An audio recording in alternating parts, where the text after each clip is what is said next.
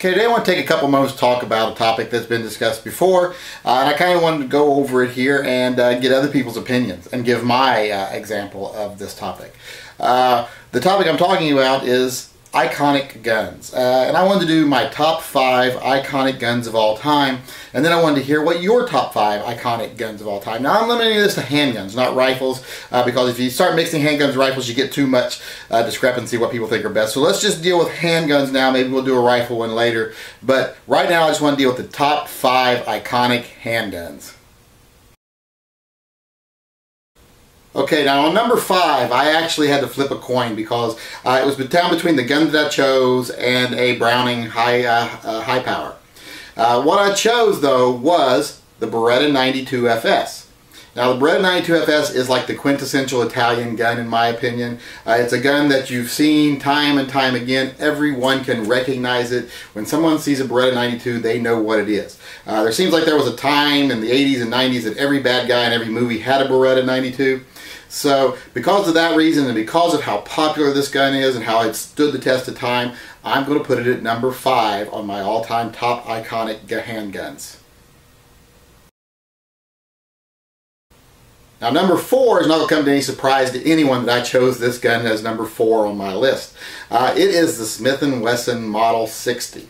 Now this is the classic Smith & Wesson handgun. Uh, now there are a lot of Smith & Wesson model handguns, but the, reason I chose the Model 60, especially the older style Model 60s, it is the gun that people of my generation and the generation before me, and maybe even the generation after, grew up seeing on TV shows, detective shows, movies. This was the gun that cops carried. If you were an undercover detective, this is what you had under your shirt, this is what you had in your holster. This was your gun of choice. This was the gun of Hollywood for that genre. So for that reason and uh, multiple other reasons that once again that everyone knows what this gun is, my number four top handgun of all time, the, the Smith & Wesson Model 60. Now number three, that's another no-brainer, and it is the Walther PPK. Now, all you have to say about the Walther PPK is it is James Bond's gun. And everyone knows what you're talking about. When you talk about James Bond's gun, everyone thinks Walther PPK. Regardless of the newer movies where he's carrying the new Walther models, which have never made sense to me because they're supposed to be flashbacks to before the earlier books, yet he's carrying a modern gun. Uh, so Walther PPK, James Bond, that's all you got to say, and that earns it the number three spot on my list of top uh, five iconic handguns. Okay, now number two position is going to surprise a lot of people, I think. Because a lot of people probably would have this gun as the number one iconic gun uh, ever. But uh, I'm putting it number two, Ben, and when you see my number one, I hope you'll understand why. But at number two, I'm going to put the Colt 1911A1.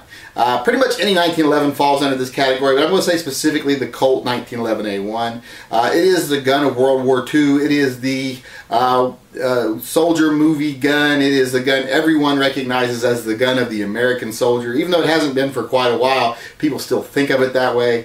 It is the gun that, uh, that, that just uh, epitomizes America and World War II. It's just a iconic gun. There's no top five list of iconic handguns that should not have the 1911 on it. If your list does not have the 1911 on it, you're being, I think, dishonest to yourself because it is one of the top handguns ever. Now, what gun could push the Colt uh, 1911 out of the top spot? Uh, well, pretty simply, it's another Colt. It's the Colt Single Action Army.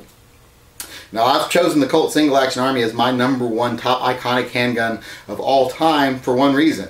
It is the premier cowboy gun. It is the gun every cowboy carried or wanted to carry. It's the gun you saw in movies, TV shows. Uh, it is the gun that all replicas nowadays for single action shooting and pretty much are made after. I mean, outside of the uh, Ruger guns, which aren't true uh, replicas or true cowboy action guns, it is the one that they all model to look like.